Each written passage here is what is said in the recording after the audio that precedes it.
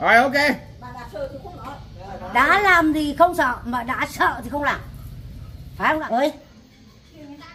Tao nói làm sao tao nói được tao sợ à? Tao mà đã sợ tao nói tao, tao là nói tao không có sợ. Cái gì có tao nói không có thôi nhưng đừng có gan. Ô ai dám chửi tao? Không ai dám chửi tao hết à? Rồi. Làng xóm mà nói là mấy người ở cần kệ đó là ba phát ngôn là ông về thì đợt này ba chửi té tua. Nhưng mà ba cũng có lo cho ông một cái miếng đất nhỏ nhỏ để làm cái nhà cho ông ở. Ừ. thì khi đó tôi nói đến anh Thái á chứ anh lên á anh nghe lời em nói đi là đừng có nói như vậy.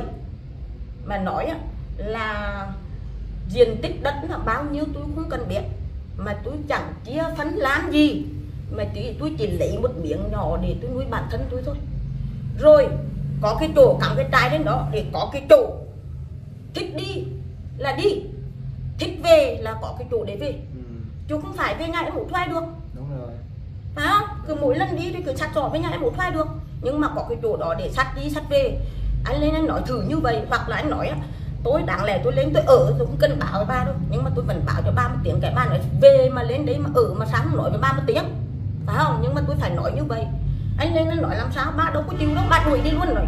Đất của tôi nhà của tôi tôi, tôi ở chứ một cái nhà đó nó xây lên cũng có công sức của anh làm trong đó. Đó.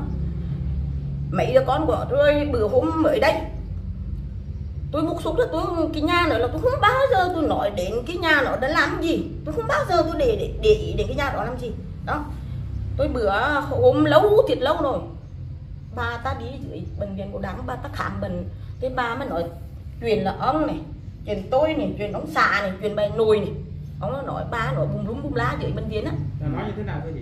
Bà nói xấu nói thế nọ thế kia ông thế nọ thế kia vậy đó. À, rồi chứ tôi bức xúc mà tôi không thèm nói. Tôi để trong bụng á tôi không thèm nói. Nhưng mà bữa nào ông ở đây ông ấy về nhà tôi bắt đầu là ông quái phụ vịt lông nữa. Thì ông xả tôi ông đưa cho 500 ông cho 500 ông thằng thằng út thì thằng nhỏ thì chở ra ngoài xe. Cho tôi mà nói anh đi ra ngoài. Ta nói không sợ, rồi ok. Bà đã sợ thì không nói. đã làm thì không sợ mà đã sợ thì không làm phải không nào? Quá chất. Quá đúng. À, mình sợ mình mình nói cái gì mình có thì mình nói còn không có thì thôi. Dạ cho anh em tụi con hỏi thăm là con tụi con xưng hô với bà như thế nào cho nó hợp lý ha. Thì bây giờ các con xưng bà bằng cụ được rồi.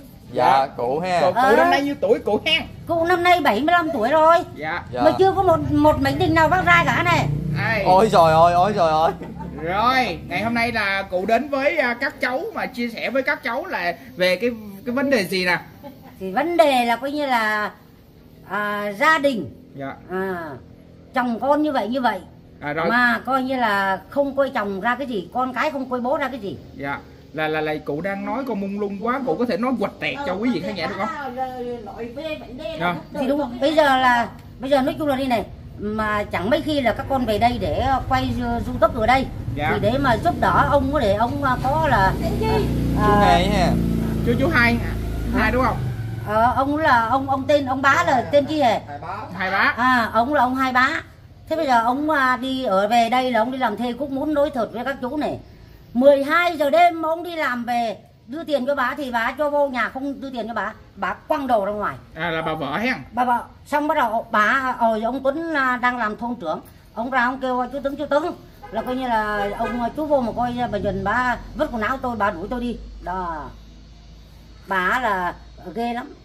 Các con biết không bây giờ là lấy vợ lấy chồng là con riêng không nói. Bà có con riêng ông có con riêng. Nhưng mà bà là ừ, có con chung với bà là ba đứa con gái mà coi như là ông nó không có một là à, thí dụ như bây giờ phải làm KT3 cho ông nữa hoặc là cho ông vô cái hộ khẩu để ông là người à, người chủ cột. Nhưng mà ông không có một gì hết.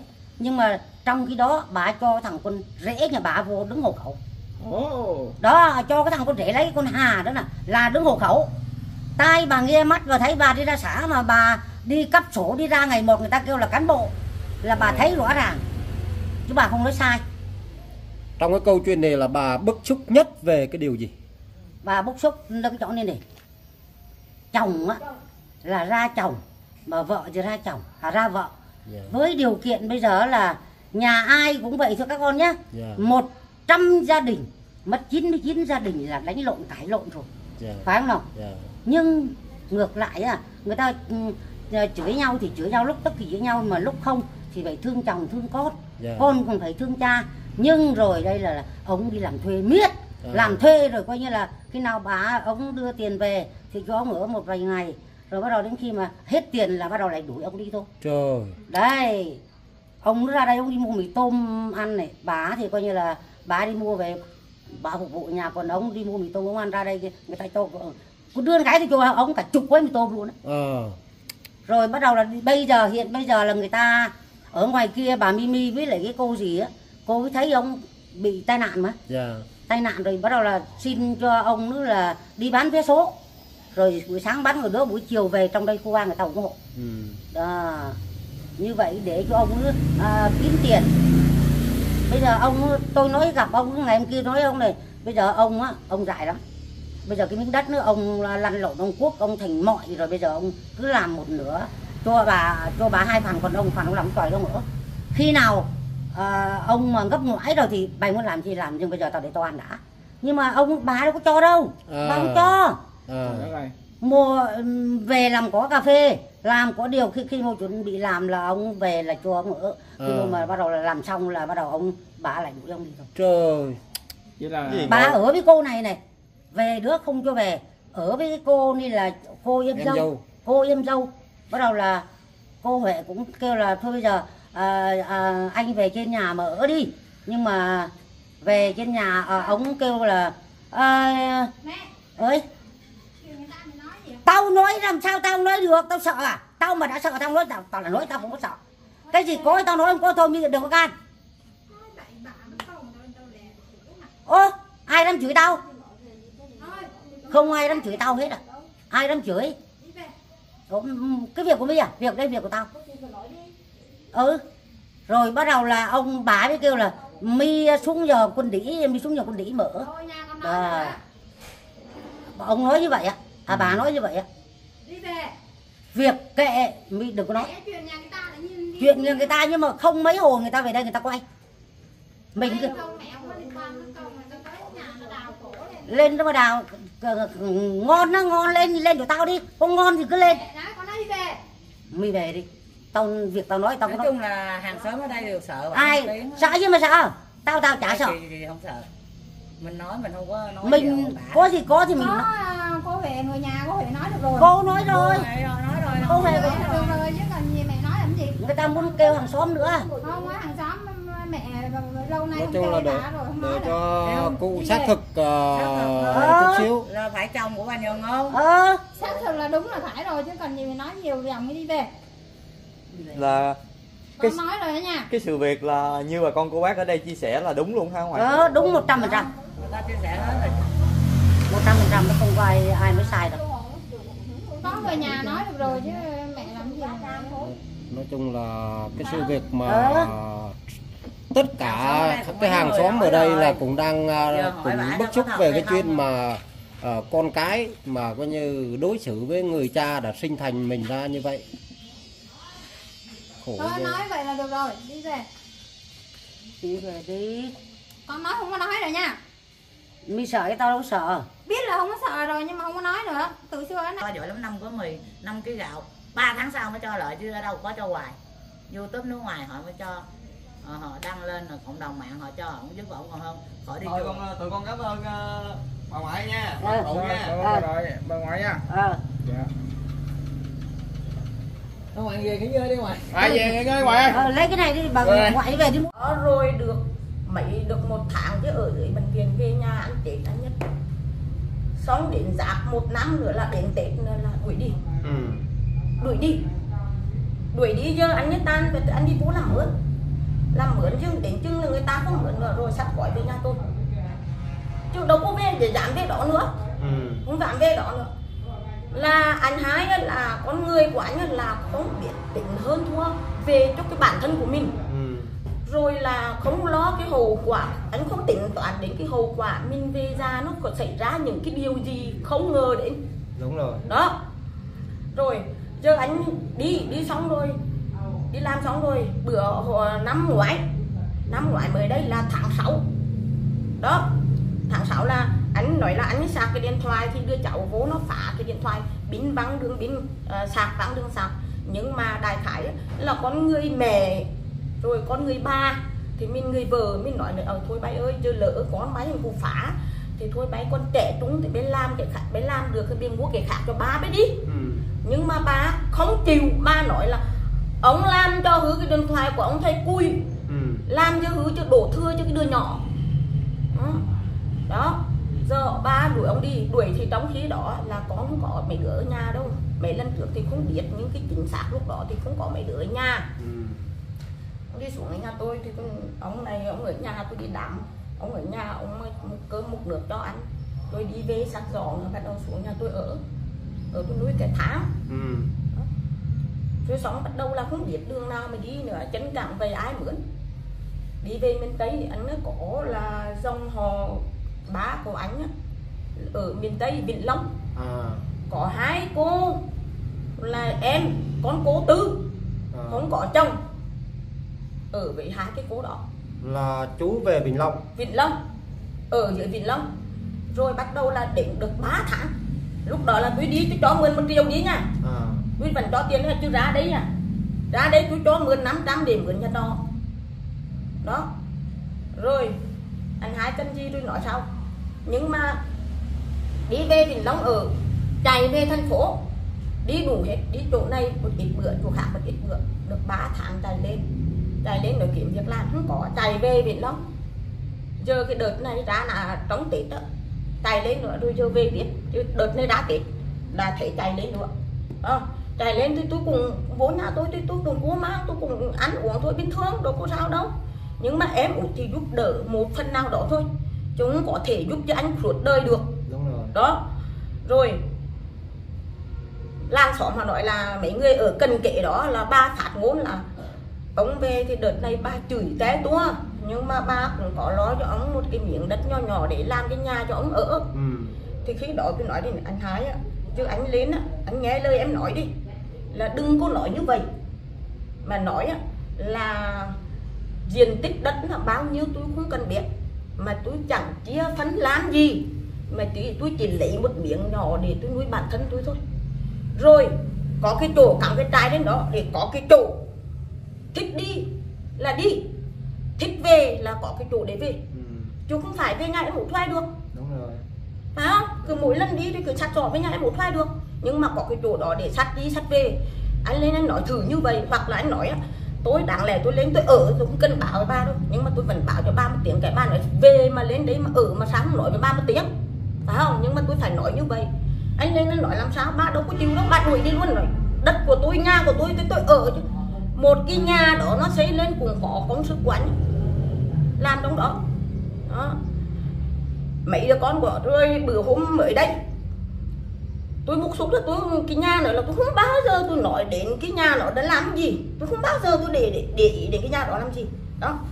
Tôi bữa hôm lâu thiệt lâu rồi. Bà ta đi dưới bệnh viện của đảng bà ta khám bệnh. Thế bà mới nói chuyện là ông này chuyện tôi này chuyện ông xà này chuyện bà nồi này. Ông nó nói ba nói bùng lúng bùng lá dưới bệnh viện á. Nói như thế nào thưa chị? Ba nói xấu nói thế nọ thế kia ông thì nọ thế kia vậy đó. À, rồi chứ tôi bức xúc mà tôi không thèm nói. Tôi để trong bụng á không thèm nói. Nhưng mà bữa nọ ông ở đây, ông về nhà tôi bắt đầu là ông quay xuống vịt lông nữa. Thì ông xả tôi, ông đưa cho 500 ông cho 500 ông thằng thằng út thì, thằng nọ thì chở ra ngoài xe. Cho tôi mà nói, anh đi ra ngoài anh coi thử, bác hai có đón được xe chưa? Nếu mà bác hai chưa đón được xe thì mình về để mà đi cục mũ chứ gần hết giờ rồi. Không có giờ để mà đợi nữa. Khi đó là vợ chồng tôi về kể là bà ra ngoan bà chửi. Bà ra đi chờ bà thỉnh hai nè bà mới chửi bà nói là đi thì đi. Mà về thì cũng về nhà mà ngủ nhà có đỉ nào. Đó. mà lúc nào đi thì cũng đi thì sắt giỏ xuống. Rồi đi đi sắt giỏ đi. Cho xuống nhà tôi cho đi đâu? Nói chửi vậy. Tôi mà bức xúc quá. Một chuyện được là tôi không thèm nói. Chuyện chiến của tôi tôi không thèm nói đâu. Chứ mà chuyện đó là tôi kèm hai chuyện tôi mà đi ra mới chờ mà tôi nói. Nhà ba tôi không bao giờ tôi lên. Ừ. còn á tôi hai chuyện đó là tôi để đó tôi nói tôi ra tôi chờ là tôi gặp tôi nói sợ nói ba sống là ông ông nói đó sống con người thì để cho một người ta có một cái đường lui chứ đấy á, ba không cho người ta có một cái đường lui đó. Rồi là cái sổ hộ khẩu anh có tên đâu mới nói đến về chuyện đất. Ừ. để tôi nói cái này cho mà nghe. Xong á, bắt đầu là ba nó kêu hai đứa con xuống xuống nhà tôi. Tôi mà nói nó nó nói là ông là cha của nó thiệt nhưng nói 10 điều 11 điều nó chẳng tin điều nào. Ừm, nó nói với tôi vậy là không có lo chi cho nó hết. Tôi mới nói này tôi bay đừng anh nói là tôi bay giờ đang có nhỏ lớn mới lớn lên tôi bay không có biết. Đó là ba bay không lo làm sao mà có vật chất của cải để nuôi cho bay ăn lớn chừng đấy mà lên một kỳ hình hài như vậy? Có một hình hài như vậy là cảm ơn ba rồi chứ bé tự nhiên nói bên lo dư ông không tan tật đến lo cái gì nữa mà lo nữa đó. Thì, thì khi đó là nó hắn chửi bới là hắn nói rồi. Tôi đuổi nó về. Xong hả còn cái miếng đất đó là hai mẫu mấy là hồi xưa mới làm sổ đỏ nha. Là anh ấy đứng tên là anh ở đó. Ở trong nhà cuộc sống bình hòa bình là ở trong nhà là anh ấy đứng sổ đỏ.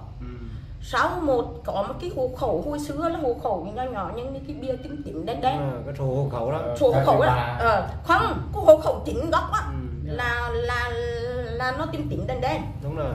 Sau này á mà người ta kêu ra là đi làm hộ khẩu lại khai hộ khẩu lại Ừ. thì ông này ông đâu có ở nhà đâu. Ông ba mà bảo cho ông là về để làm hộ khẩu. Tôi nghe người ta nói hoặc là ba nói lại vậy thôi chứ tôi không chính thức là tôi nghe ông nói. Nhưng mà ông nói là tao chẳng thèm làm hộ khẩu đâu. Ờ, tao đâu có làm gì mà phí phạm ừm, hợp của là nhà nước đâu mà tao sợ. Ờ, tao cũng vẫn sống bình thường tao đâu có cần gì hộ khẩu. Ờ, nhưng mà người ta dần thì ta nói vậy thôi chứ mình làm hộ khẩu thì mình ghi cái tên đó vô đó cho mất mát gì đâu. Dạ. đó phải không? Nhưng ông không có hộ khẩu giờ không có chứng minh không có một cái gì hết. Dạ. đó. Là giờ là không có giấy tờ tùy thân luôn. Không có giấy tờ tùy thân. không có cái giấy gì lần đứng hết con sổ đỏ là ba nghe người trong xóm tôi thì tôi không thực từ biết. Nhưng mà trong xóm họ nói ba đi làm làm cái kiểu gì không biết không có ông ký mà ba đã đổi tên qua ba rồi. Rồi rồi xong đúng Rồi, rồi rồi. Ủa, bà sổ bà đứng chủ quyền luôn. Chủ quyền luôn rồi. Ông không có gì trong cái sổ hộ khẩu với sổ đỏ. Thế là giờ chú không còn một cái gì nữa không hết. có một cái không có gì. gì để chứng minh á. Không có gì để chứng minh hết. Bữa ờ, gặp ờ, chữ lộ mà tôi tức quá rồi bà mới nói ờ, mày thích thì mày cứ đi thưa tôi nói nè không cần thưa đâu. Thấy không thưa được là thưa rồi chứ anh ăn ờ, Đó. của người ta ăn phải trừ xương lại mà ăn mà nuốt luôn cái xương à. Tôi nói chữ tại cái- chợ luôn cái ba nó đó thở luôn là cúi mặt xuống đi chứ không dám nước mặt lên. Ủa vậy à, chú Hàng Vậy là bây giờ nhà cửa đất đai là của vợ chú chứ đâu mà có chú nào đâu. Cái, cái đó thì tôi không biết chỉ nghe nói thôi chứ thực tế là tôi không thấy. À. Nhưng mà cái sổ đỏ là hồi nào giờ bả nắm chứ tôi không có nắm. Ờ, À. ông Đó. đâu có biết cái sổ đỏ là cái tôi đi làm lung không tung đi làm sổ. không? đâu có nhà. Rồi ở nhà bà chuyển mới làm gì mới làm chứ tôi không Không biết không đổi, nhưng mà không. đầu tiên là làm sổ đỏ là tôi đứng tên trong đó. Mà bây giờ chú cũng không cần luôn đúng không? Tôi cũng không cần nữa. Đó. À con hiểu vấn đề rồi. À, Là bây giờ ổng cũng không cần luôn. Rồi. Nói chung là ông cũng cần thiết là không quan tâm ông không có À. thương gì giờ vấn đề có hỏi đó chú như thế này. Ờ. Ví dụ như là giờ chú khỏe như vậy đi thì không nói ờ đó rồi chú ốm chú đau chú nằm xuống thì chú nhờ vào ai? Nhờ vào cái gì? Rồi đó quan trọng cái chỗ đó đó. Đó thì tôi nghĩ là nếu mà có xảy ra ốm đau thì cũng nhờ lối sớm bà con cô bác ở đây người ta ủng hộ người ta giúp đỡ thôi. Chứ còn ngoài ra thì tôi ờ, đâu có ai đâu. Khó lắm. Vâng. nó khó lắm. Không có bây giờ gì nè? Bây giờ á, cũng không phải khó khăn gì. Bây giờ hiện tại như chú ra đây á Chú ra ngoài đây chú sống nè Chú thuê phòng trọ thì cũng nhờ em chú Bà con cô bác ở đây cũng quen rồi. Rồi á Hiện tại họ đã có quen chú rồi Đúng không? Rồi tới đây ờ, tuổi già sức yếu ờ, Tới một cái độ tuổi nào đó chú mất Thì cũng bà con cô bác ở đây người ta cũng quen họ ờ, chú. Cũng bình thường thôi không có gì hết. Nhưng mà vấn đề chỗ này nè. Nhà chú có Vợ con chú có. Mà sao mà chú lại để cho bà con cô bác cô ngoan mình á cái vấn đề đó là cái vấn đề nhức nhối trong câu chuyện của Ờ, quan chú. đó. đó. Mà con thấy chú thấy cũng bình thường luôn đúng không? Ờ. ông có chẳng kiểu dạng là chú không cần không không cần thiết mà cái hộ khẩu của ông là có nha. Tại vì hồi xưa vào đấy năm 90 là tỉnh tỉnh là tỉnh sống bé. À, là à, tỉnh Sông sống Bé, là có như cái huyện này là thuộc cái huyện Phước Long. Ừ. ừ. hồi đó là tôi làm ông lên là tôi làm một cái bản tích ngang là họ tên rồi con cái. Ừ. rồi bắt đầu mà đưa ra cho là tổ chức lao động của nông trường mà họ đi nhập hộ khẩu. Ờ, thì sau này ông làm hộ khẩu mà nó có. Chứ không thì không có cái đó làm sao mà làm hộ khẩu mà có được? Ừ. bên cạnh ờ, câu chuyện này thì lúc này đây ờ, chú với thím ờ, xác nhận rằng á là bên phía gia đình bên vợ với là con cái bỏ rơi luôn rồi ha. Không bỏ rơi luôn. Nè đi bán vé số mà người dân người ta không có tiền người ta cũng đi mượn mấy chục để ta lại ta mua hộ. Còn con chạy xe máy chạy ngang rồi phật lơ đi. Đó. Quá bất hiếu rồi. Đó. chứ không phải là bình thường. Không phải là ba nó còn ra gì không chi tôi là chú nó đi cũng gục cái mặt Mà tôi biết. Chơi hai con mắt nó chẳng chào chẳng chào hỏi chẳng nói gì hết. chú có hồi nào chú nghĩ là những cái đứa con của chú bất hiếu như đó là coi như có tội rất lớn với chú không? tôi thì nói chung là tôi không có nghĩ bởi vì hồi trước tôi còn ở trong nhà thì nó không có đến cái mức độ đó. Mà sau thời gian tôi đi làm chỗ này chỗ nọ vắng nhà thì nó tới nó có cái tới mức độ đó. Bởi vì nó lệ thuộc mẹ của nó cho nên con- nó tới mức độ Rồi đó. con ngắt lời chú chút xíu. Lúc nãy cô có nhắc tới là mấy đứa con đó thì coi như như ba người con gái mà của của vợ chú á thì coi như con à, xin lỗi chú nha có đúng con ruột của chú không? con của tôi con ruột tôi mà. Ba đứa con Ờ. con mà thằng lớn là cháu nôi đó là con riêng của má. Con riêng của bà. Đứa con gái là con gái đó. Còn là con- là bà là có một người con riêng Ờ. là con trai. con Rất có, chú có hồi nào chú nghĩ là coi như những cái tài sản của chú làm ra đổ mồ hôi làm ra như vậy để coi như dành cho cái đứa con riêng không? Không. tôi còn có lúc tôi còn nói hồi trước tôi còn nói là bây giờ con lớn rồi.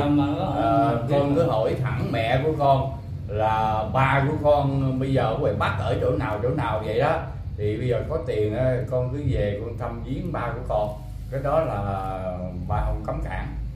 Ờ, con về thăm viếng um, ba của con ở ngoài bắc Nếu- như thế nào. cái số đó là con trai ờ, của bà đất và nhà mấy đứa con gái nó có hầu nó thương bá nó có thể tránh giành cái quyền lợi của nó. Phải không? Nó phải tránh giành quyền lợi của nó. Đường này nó nó không không nghĩ gì về cái vấn đề như vậy.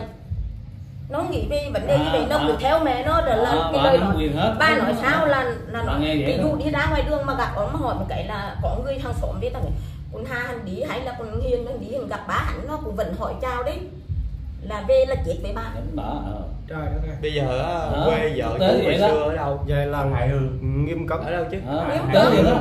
Hải dương ha. À, quê Hải vợ chú là á. Hải, Hải Dương đúng không? Hải Dương. À, Hải Hải Dương. Là ngoài bắc ha. Với bác á. Bắt đó Bây giờ ở á- á. bây giờ con nói một cái vấn đề như thế này để cho quý cộng đồng mạng cũng như là cả nhà mình nghe coi có đúng tôi hay không. là tôi là người Quảng Bình. Là con ông này là người thành phố. Dạ để con Ừ, phố gốc mà. con xin phép nói như thế này ha.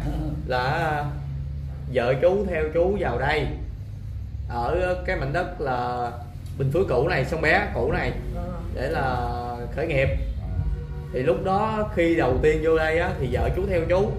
Có nghĩa là đất đai nhà cửa thì phải có bàn tay của chú nhúng vô rồi. mới khai phá được. Chứ bà một mình con gái mà không khai phá, khai phá được đúng không? Đúng Đó. rồi đúng rồi thì mình chỉ nói vấn đề đó thôi thì ờ, vợ quý làm đồng chồng nói nói Hai vấn đó thôi. vợ làm chồng không quan trọng là nói đến cái vấn đề đó thôi. Dạ. Hai người làm hết chứ không có ai hành chụp là chụp cái câu đó thôi. Bên cạnh đó thì ờ, trong nội dung video ngày hôm nay thì ờ, ờ, cô chú là em của chú hai ha. Thì cô chú có muốn nói thêm điều gì không? Chứ á, tôi cũng yêu cầu rằng á là anh Hải á cái thứ nhất là anh Hải là phải có cái chỉ có cái cái, cái bản lĩnh một người đàn ông để đấu đấu tranh về cái quyền lợi bản thân của mình sau nên mình về già mình sẽ đến đâu và như thế nào. Ờ, phải rồi là là là là là cho bản thân mình chưa nói chung là con người ta đâu phải là nói chết là chết. Đó, đó là cái chuyện khó lắm. Còn ốm đau còn nâng lên đỡ xuống vấn đề đó nằm ở nhà trọ ai nâng đó cái vấn đề đó. Rồi cái vấn đề nữa là chưa trước mắt đó, thì tôi yêu cầu thì nói chung thì, thì vợ con thì nó cũng lo cho anh á. Thì năm rồi là anh lừa một mùa điều tưởng anh làm cái chân này của cho anh á. Thì ba mới nói quy gối xuống để mà xin ba thì lúc đó ba mới làm được cái chân cho ông ạ đó chứ không là cứ để như vậy à, là coi như là vợ bắt là chú hai phải quỳ xuống. Ờ. Để mình à, là năn nỉ lại quá ờ ờ À, bảo nó- lúc đó là chú làm có quỳ cho. lại không? Nếu- không nếu xin mà- đó là ba nói như vậy nhưng anh À. không có nữa. Không, xin Rồi nếu gặp em là gặp em là sẽ mua thêm lại chuối nữa. Tôi tôi Không nói cho nữa vậy. nghe thì đến khi là ba mà đuổi đi thì ba còn nói là cái chân nữa là ba có mổ cho đâu. À. mà cuộc sống trong nhà là khi mà anh bị cái chân này anh về là anh cứ nhốt mình ở trong cả cái phòng chứ anh cũng ra ngoài mà cũng tâm tư cũng chia sẻ cũng nói vợ chuyện với vợ con chứ hết. Đó anh chỉ ngồi trong phòng để anh mình cầm cái điện thoại thôi anh coi thôi chứ anh cũng chẳng chia sẻ với ai trong gia đình hết cả. Tính là con người nó ít nói. Nói ra nhiều khi không phải là thật ý nữa người khác nữa. Cho nên cứ, cứ như vậy là có cái điện thoại thì ngồi trong là đến bữa cơm thì ăn thôi. Nhưng mà đã bị tai nạn rồi ấy thì vợ với con là về đó thì vợ với con là có chút ừ, cơm ăn cơm có chút cháo ăn cháo. Sao mà cứ tự nhiên cứ đuổi sắt cõi đi sắt cõi đi cứ xuống cái nhà tôi là tôi không phải là một chén cơm một bữa ăn là tôi tiếc nhưng mà tôi thấy mỗi lần đi cứ sắt gói quá nha tôi là tôi bực. Phải không? Tôi bực lắm. Nhà đến nhà ăn viên viên thì cứ sắt gói đến sắt gói đi nói Đó. chung là chú hai có một cái gia đình mà bị đuổi đi suốt như vậy. Đó thì nói chung là khi mà đến nhà em nhà út á chú là đàn ông là trụ cột ở trong gia đình. Đấy, chú không thể mà có như phụ thuộc vào người vợ mà có như cứ vui á thì để cho chú ở. Ờ. Đấy, chú làm được á thì để cho chú ở mà khi mà chú không làm được á thì lại đuổi đi. lại buồn lại đuổi đi. Tại sao chú không đấu tranh để mà coi như chú lấy lại cái quyền lợi của chú ở trong cái coi như một cái ngôi nhà? Rồi. Nó, nó khổ tâm bây giờ nói với chú vừa rồi á tôi cũng nghĩ là đấu tranh lắm chứ không phải không không nghĩ. Nhưng mà bây giờ tuổi mình là lớn bây giờ đấu tranh có quyền lợi gì? Nhưng mà cái thứ nhất cái thứ hai nữa bây giờ con cái trong nhà nó đều theo bà hết. Mà tôi cứ nói ra thì bả đối lại á thì con cái nó nghe thì nó phản ảnh tôi này nọ nhưng mà bả có thằng con trai.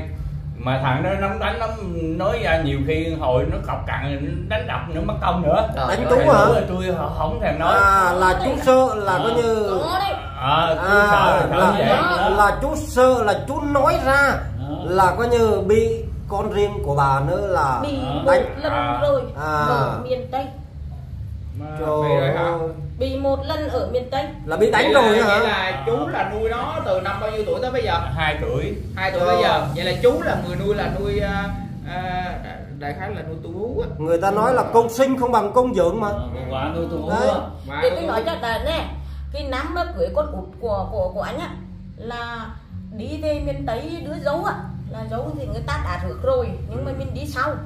Thì khi đó trong nhà tôi tính tôi đi nhưng ông này ông nói là uh, bà ở nhà đi chơi để tôi đi về bác Hải để cho có đàn ông chơi xuống dưới bác Ái bác Hải đàn ông lớn tuổi một mình à con có kén không? Thì tôi nói ờ, thì tôi có kén thì có kén thì má mày đi thì đi. Ông này đi xuống thì ông uống rượu xỉn ông đâu có biết. Thấy không? Còn cái thằng của cũ của tôi là nó biết. Ừ. từ khi sạch ra ở trong cái chỗ nhà cưới xong mà đi ra đi xe để mà về là thằng ông nói ông anh hai nói gì không biết. Thằng đó mà nó quấn. Quấn luôn. Quấn Ờ. luôn. cho bất nó quấn luôn. Nó quấn rồi là về rồi tôi nói tôi không biết nhưng mà mấy người hàng xóm nó biết. Ờ. nó nói đi ở Huế xuống dưới nữa là là nghe nói thằng thanh nó quấn ông bả đấy. Tôi nói sao ông phượt về không nói chứ cả ta. Biết cái tôi đâu. về mà tôi điều tra cái thằng cũ thằng cũ cũng nói nữa tôi về nói thì con con đi dưới đó thì sao mà con lớn rồi mà có chuyện gì xảy ra con về nói với mẹ. Nói đi anh thanh có phải quận bạc hải không? Đúng rồi quận bạc hải mà. Tôi nói hỏi ba thì ba này ba đâu có biết đi đi, thằng cũ nói ba xin rồi ba đâu có biết. Con đây con thấy rõ ràng ấy quận anh à, bạc anh thanh quận bạc hải rõ ràng ấy đó quận ở dưới miền tây. Vậy à, chú hai giờ chú à, nói à, thật đi cho tất cả quý vị khán giả được à, biết được không? Chú bị quấn bao nhiêu lần rồi? À, cái thằng con của có một lần ở dưới ờ, bến tre là con lấy con nhỏ út nó lấy chồng thì xuống dưới đó. Ừ. là một lần đó thôi. Quấn đâu không? Ờ, cái lúc đó thì nói chung là cũng không nặng mấy. Là Mà chưa nhập viện nên chưa nặng. Hả? là là chưa bị nhập viện à? không. Đập cái, cái kiểu xô qua xô lại vậy thôi. là tai đấy thôi chứ chứ nó không đến nỗi nặng. Con mà bạt tai với cha luôn. Ừ, xử nó nó câu chuyện nó như vậy à, nó bảo quýnh tôi nè. Dạ.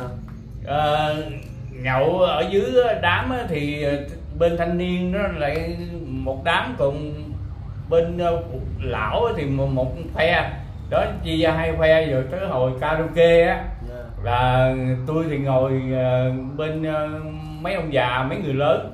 Còn nó bên thanh niên ờ, nó qua nó mới chữ thề nó nói nhậu thì nhậu đi ờ, ờ, còn ca hát gì nữa ừ. mà nó nói không phải nó nói nhỏ mà nó nói lớn giữa bạn bè ừ, của tôi Nói chung là tôi người á. lớn tuổi. à, mà nó chửi thề nữa tôi mới tức mình quá tôi nói mày nói gì là nó, nó nó nó tán luôn tôi với nó đánh với nhau là ra khỏi ờ, chỗ đám luôn ở lúc là đó là cái lúc là chú nói cái là nó bay vào nó tán chú luôn À, hả cái lúc đó là chú ờ, út đây thì chú cũng nhậu lúc đó cũng đã rồi. Ờ. Ờ, cho nên là chú cũng đâu biết có thằng cháu tôi rồi con của chú á, nó biết. còn tỉnh là biết đừng nói. Mà về là chú có nói với bà là vợ của chú là bị à, à, thằng con rim nó quýnh ở dưới bà cũng có đó mà. Nó thì đâu bà cũng ở đó mà. À. Vậy là bạn không can luôn có can không? không. Không. Có mấy người ta can ra thôi. À vậy là là bà để cho con riêng của bà quýnh chú luôn. Ờ bà đâu có nói gì đâu bà đâu có nói con phải gì đâu vậy là vậy là chú là coi như là à, bị coi như là thân cô thế cô nói thật sự là vậy. bây giờ là coi như là 4 F1 à, gọi là 5 F1 luôn. Tại vì à, ba cô con gái một mình và vợ rồi thêm một thằng con à, mà Con riêng. chị con riêng của, vợ chú. Mà coi như là chú là nuôi suốt ròng rã mấy chục năm qua nữa. Người Là coi như là- lớn đại khái là coi như là chú có bao giờ có nghĩ là trả nó về nơi về nơi sản xuất gốc không? Quýnh chú vậy mà. Tôi có quyền chú trả nó về nơi sản xuất chứ cha nó vậy là coi như chắc ờ, của thằng trai cũng không ra gì Ờ, rồi. với bụng đầy nó bụng đầy vợ rồi mà con gì nữa. Trời đất ơi. Vậy mà chú còn cam tâm tình nguyện tới bây giờ là mình chịu đựng được luôn. Ờ. giờ chú biết là coi như chú nắm được cái tương lai của chú sau này là như thế nào chứ? Tôi nghĩ hiện tại bây giờ cái tương lai của tôi giờ tôi không có nghĩ gì ờ, con cái vợ con nữa trơn. Bởi vì nó đã có cái cái cái, cái ý vậy rồi bây giờ nghĩ gì nữa? Rồi cái thứ hai nữa là bây giờ tôi chỉ còn có ờ, chú em ở đây thôi là anh em sinh đẻ anh em ruột thôi.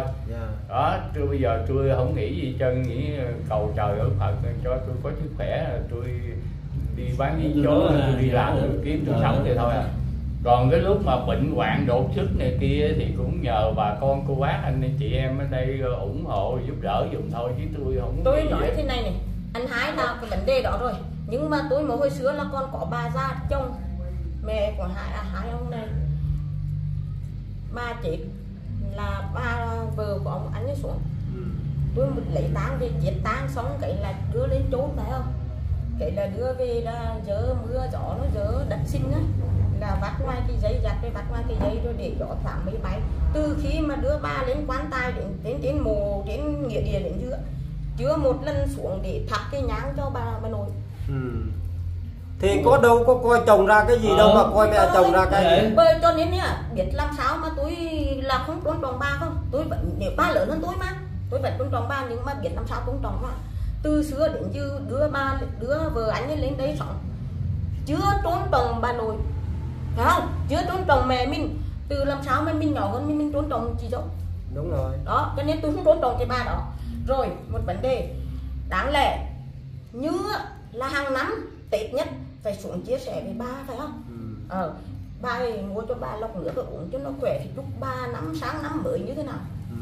từ khi tôi sống với ông này giờ thiệt sự là 35 36 năm rồi mà chưa thấy một năm nào mà xuống chúc ba hết huống gì ông này làm sao mà có được? xuống nhà. Không khi nào ông xuống. Đó. Vậy con à, hỏi à, chú hai nhá chú hai cưới bà là có cưới không hay là chỉ về ở ghép? Không. Ở không vậy chứ không có cưới hỏi. Ghép thôi. à, Ghép. là không có giấy kết hôn. À. không. Ông tới hỏi thì gặp nhau rồi.